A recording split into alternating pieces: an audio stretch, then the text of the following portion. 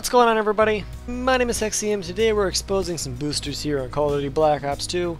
Today we gotta find these guys called Swishy or Cat 154 and his little boosting buddy Hush Puppy 007. Now these guys, they've picked an interesting map. This is not one you find a ton of boosters on because of the fact that you can be shot pretty much anywhere. However, they did go to a spot on the map where there is almost no one ever. For some whatever reason, when this map was developed, you know, nobody ever really goes over here to this little secret balcony area. So this is where people commonly boost if they're boosting on this map. Uh, you've seen them in my other videos. If you watch my other videos, you'll see people boost here commonly if, if it's on this map. Anyway, today, these guys are sitting here with some of the stupidest guns I've seen people boost with. You know, I've seen some stupid things in my life, you know, especially boosters. Uh, ones that use snipers from point blank and still miss, but this guy's using an FAL. Now, it may just be me because my trigger finger is a god, but if it's me, I don't think anybody pretty much, even some of my friends that are god-awful at Call of Duty still have a gold FAL. This is one of the easiest guns to get gold in the game. It's like a two-shot to three-shot kill no matter what.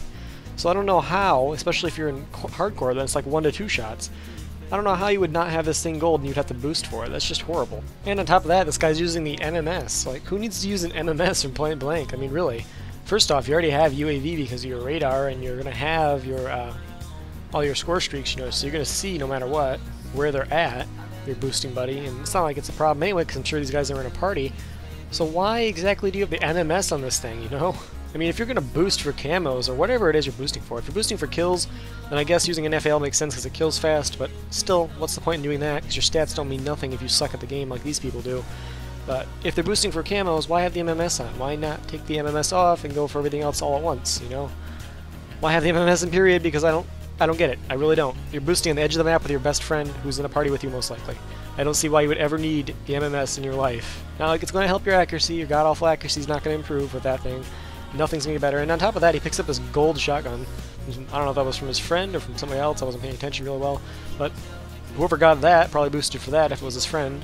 Or maybe they picked it up off the enemy. Maybe. I don't know. I wasn't really paying attention. Either regardless, if his friend is the one that boosted for that, report him anyway, because I'm sure he did. Knowing these guys and how much they boost, look at this, they just keep coming back.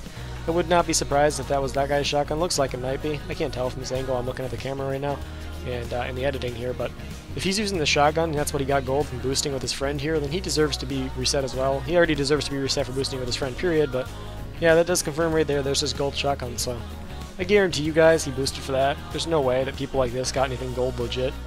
And I really don't get why they're going for gold camos. You know, gold isn't even the coolest camo in the game. I mean, really. And if you're going to buy DLC like some of these idiots do, like, I don't see it on these guys' guns, but some of these guys go around with DLC camos. If you're going to buy DLC camos, there's no point in boosting for the gold camos. There's challenges in the game for a reason, guys. You're supposed to participate in these challenges to earn things. And as you can see, my teammates here, my uh, my fans, you know, that submitted this clip, are screwing with these guys and messing their boosting party up because they're doing a great job. Uh, anyway, I'll let you guys watch the rest of this video. Sorry for rambling on. I just want to make a couple points about boosting here and why I hate it, and these guys are absolute idiots. Report these guys over at Activision Support and Xbox Live. Let's get their stats reset, and if they keep doing this like idiots, and I don't understand why they're doing this, really, there's no fun in doing this. There really isn't. But uh, report these guys, and if they don't get reset, or if they do get reset and continue to do this, we'll get them banned. So let me know, guys, what you think of this video. Leave a like if you enjoyed, and I will see you guys in the next video.